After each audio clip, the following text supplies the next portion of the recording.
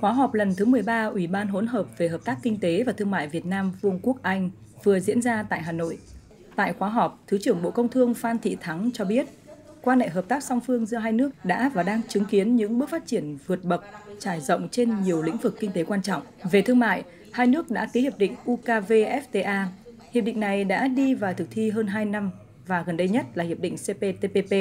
khi Anh trở thành thành viên thứ 12 của hiệp định này. Về năng lượng, với sự thúc đẩy và hỗ trợ mạnh mẽ của Vương quốc Anh sau COP26, do Vương quốc Anh làm chủ tịch,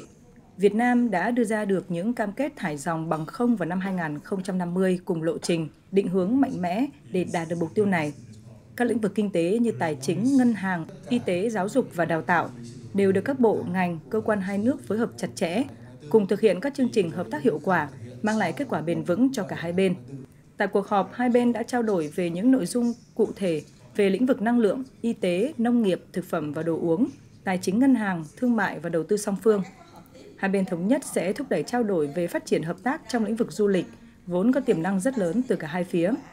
Việc phát triển du lịch giữa hai nước sẽ cùng bổ trợ cho tăng trưởng thương mại và đầu tư, hợp tác về giáo dục và đào tạo giữa hai nước.